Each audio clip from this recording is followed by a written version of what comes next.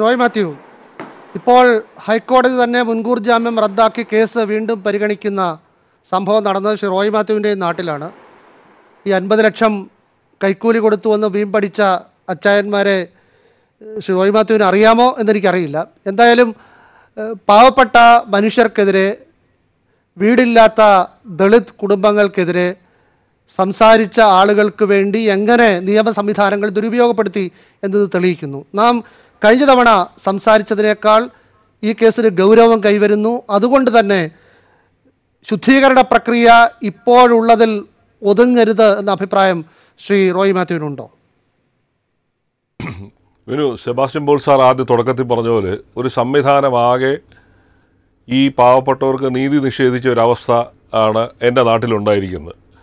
അതായത് ഇതിന്റെ തുടക്കം മുതൽ തന്നെ ഈ ഒരു അമേരിക്കക്കാരനായ പ്രവാസി അദ്ദേഹത്തിന്റെ ഭൂമി ഈ പാവപ്പെട്ടവർക്കായി വിതരണം ചെയ്ത ഘട്ടം മുതൽ തന്നെ പോലീസ് പഞ്ചായത്ത് വില്ലേജ്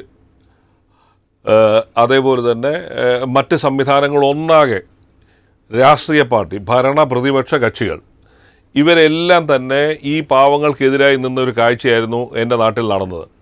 അതിനകത്ത് വളരെ വ്യത്യസ്തമായ ഒരു നിലപാട് സ്വീകരിച്ച ഈ ബിനു മാത്രമാണ്. ഞാൻ എനിക്ക് ബിനുവിനെ ഇപ്പോഴും നേരിട്ട് അറിയത്തില്ല ഞാൻ കണ്ടിട്ടുമില്ല. പക്ഷേ ബിനുവിന്റെ ഇടപെടലുകൾ ഇല്ലായിരുന്നുവെങ്കിൽ ഈ കേസ് ഇവിടെ വരെ എത്തത്തില്ലായിരുന്നു. ഈ നമ്മളിപ്പോൾ ഈ കഥ പോലും പുറത്തു വരത്തില്ലായിരുന്നു. അതാണ് അതിന്റെ യാഥാർത്ഥ്യം. എങ്ങനെയാണ് പാവപ്പെട്ടവരോട് ദുർബലരായ വ്യക്തികളോട് നമ്മുടെ സംവിധാനങ്ങൾ? അതിനകത്ത് ഒരു മടിയും വിചാരിക്കേണ്ട. കേരളത്തിലെ ഭരണകക്ഷിയായാലും പ്രതിപക്ഷമായാലും രാഷ്ട്രീയ പാർട്ടികൾ ഒന്നടങ്കം തന്നെ ഈ ആറേഴ് കുടുംബങ്ങൾക്കെതിരായ ഒരു നിലപാടാണ് അവിടെ സ്വീകരിച്ചത്. അവരാരും തന്നെ ഒരു രാഷ്ട്രീയ പാർട്ടിയുടെ നേതാവ് പോലും അവർക്ക് പിന്തുണ പറഞ്ഞു എന്ന് എനിക്ക് തോന്നുന്നില്ല. ഉണ്ടെങ്കിൽ അത് ബിനു പറയട്ടെ. ഇതാണ് യാഥാർത്ഥ്യം. ഈ പോലീസ് സ്റ്റേഷനുകളിലൊക്കെ തന്നെ case charge F I R ഇട്ടിട്ട് ഫർദർ അന്വേഷണം നടന്നിട്ടില്ല.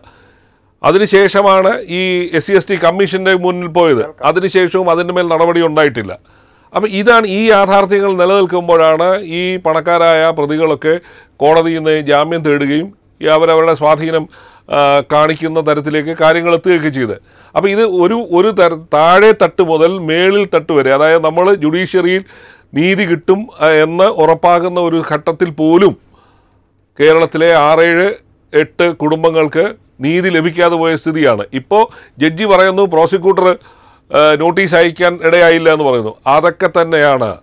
അവിടൊക്കെയാണ് സെബാസ്റ്റ്യൻ പോൾ സാർ പറഞ്ഞ പോലെ സംവിധാനങ്ങളെ ഒന്നാകെ അട്ടിമറിച്ച അവസ്ഥയിലേക്ക് എത്തിയിരിക്കുന്നത്. അപ്പോൾ അത്ര പണത്തിന്റെ മുമ്പിൽ ശക്തന്മാരായ ആൾക്കാർ കളിക്കാനുണ്ടെങ്കിൽ പലതും നടക്കുമെന്ന് നമുക്ക് ഈ പാവപ്പെട്ട മനുഷ്യർക്ക് ഹൈക്കോടതിയിൽ പോകാൻ പറ്റുമോ?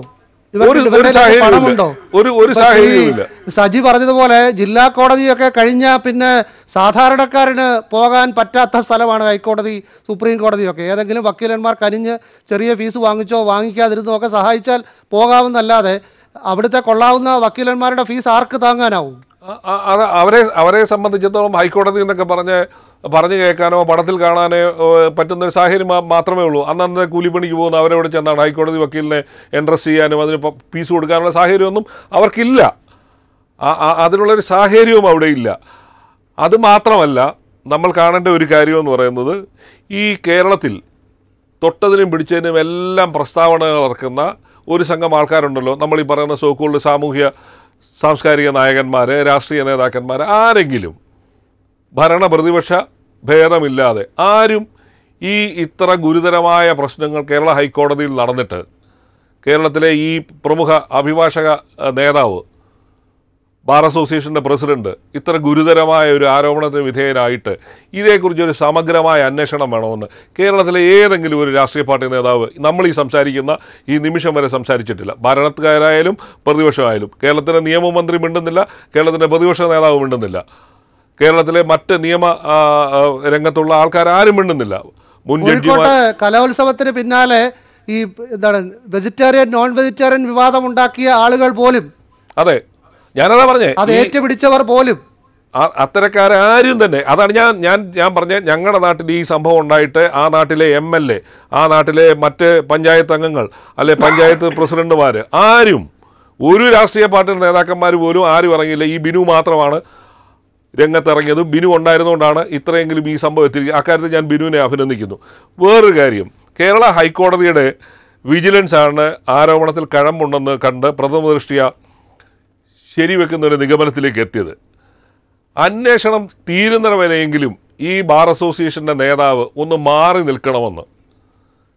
ഈ അഭിഭാഷകരുടെ ഇടയിൽ നിന്ന് ഒരാൾ പോലും ഇതുവരെ പറഞ്ഞിട്ടില്ല. പറയാൻ തയ്യാറാവുന്നില്ല. അവിടേക്കാണ് നമുക്ക് സംശയങ്ങൾ ഉണ്ടാവുന്നത് അല്ല അവിടെ അവിടെയുള്ള ഒരു വിഭാഗം അഭിഭാഷകരുടെ അഭിപ്രായം ഈ ചില കുലംകുത്തികൾ അഭിഭാഷകർക്കിടയിലുള്ള ചില ആളുകൾ ഈ സൈബി ജോസ് കിടങ്ങൂരിനെ പോലെ ഒരു മഹാനെ ഒറ്റിക്കൊടുത്തു എന്നാണ്. യെസ് ആ അത് തന്നെ അത് തന്നെ. അതിപ്പോൾ ഈ ഈ ഒരു സംഘടിത സ്വഭാവമുള്ള എല്ലാ സംഘടനകളെ പോലെ തന്നെയാണ് നമുക്കിടയിലുള്ള ആൾക്കാരെ പോലെ തന്നെയാണ് ഇവരും ഇക്കാര്യത്തിൽ എന്ന കാര്യത്തിൽ യാതൊരു തർക്കവും വേണ്ട.